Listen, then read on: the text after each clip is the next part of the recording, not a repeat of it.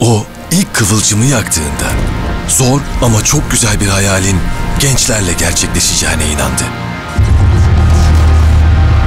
Şimdi sen de kendine inan. Kimsenin bilmediği o adı kalplere kazı mesela.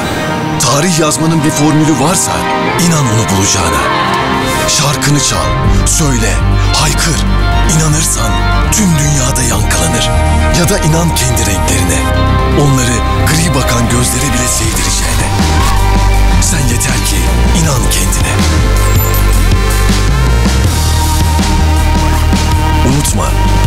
hikayen ancak sen inandıkça devleşir.